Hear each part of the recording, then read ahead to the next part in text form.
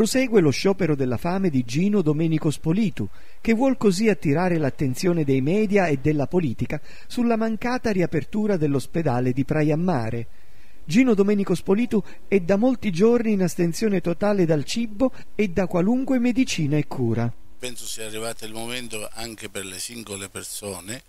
per dare anche un esempio a tutti quanti gli altri, per un risveglio dell'opinione pubblica e della zona soprattutto, ma di tutta la Calabria, perché questo ospedale non muoia progressivamente come ciò sta accadendo. Eh, è un ospedale che in zona manca in tutta la zona, era un ospedale che non dico che era il fiore all'occhiello ma funzionava, adesso piano piano sta morendo per decisioni politiche ovviamente,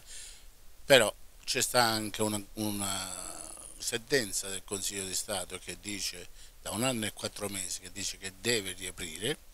e siccome le sentenze mi hanno insegnato che bisogna saperle rispettare, il primo che deve rispettare le sentenze della magistratura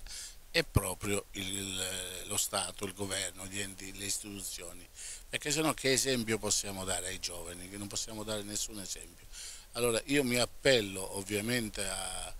alle autorità politiche della zona, ho fatto oggi una lettera aperta a Iole Santelli e Ernesto Magorno proprio perché vengano qui, si mettano a un tavolo, io non dico che devono scioperare insieme a me, per carità, ognuno fa le decisioni che vuole ed è meglio che soffra uno piuttosto che cento, però ecco, eh, un, almeno una vicinanza, almeno farsi vedere, penso che sia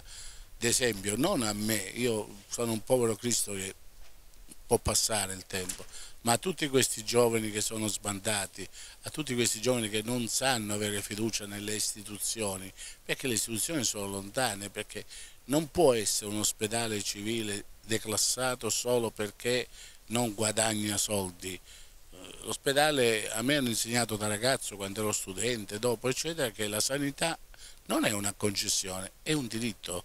La salute pubblica è un diritto, il cittadino ha diritto di stare bene, non è una concessione. Adesso tutto è una questione di soldi, tutto è una questione di favori, questione, anche, le, anche, i ricoveri sono questioni di raccomandazione. Eh, io dico sempre una frase in questi giorni a chi mi dice chi te lo fa fare. Chi me lo fa fare? Pensate, pensate un attimino, quando sentite al telegiornale ogni tanto si sente bambina morta nell'ambulanza per 5 minuti di ritardo perché c'era traffico, perché l'ospedale era chiuso o qualunque altra cosa. Pensate che quel momento può capitare a ognuno di noi, ai vostri figli, ai vostri genitori, a voi, può capitare e pensate se, come tra l'altro è capitato, per 5 minuti di ambulanza che non riesce ad arrivare a un ospedale, quello più vicino qui è Cetraro Paola, che non, magari d'estate che c'è tanto traffico sulla statale, muore. Allora ci sentiamo tutti toccati, allora facciamo tutti quanti eh, l'espressione di rabbia, ce la prendiamo con i politici, ce la prendiamo con tutti. Pensate. Spolito, perché in questo momento, non un anno fa?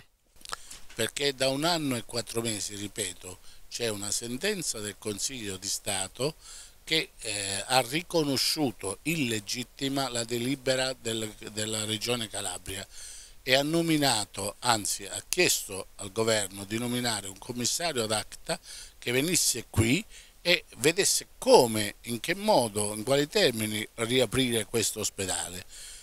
Però questi commissari stranamente in un anno e mezzo vengono sì nominati e finora in un anno e quattro mesi ne sono stati nominati tre, però stranamente fanno una visita, fanno due giorni, due mesi, tre mesi e si dimettono senza apparenzi motivi, apparenti motivi. Poi lascio immaginare a chi di dovere per quali motivo si dimettono però c'era, io mi sono messo per quattro anni a disposizione a avere fiducia nella giustizia.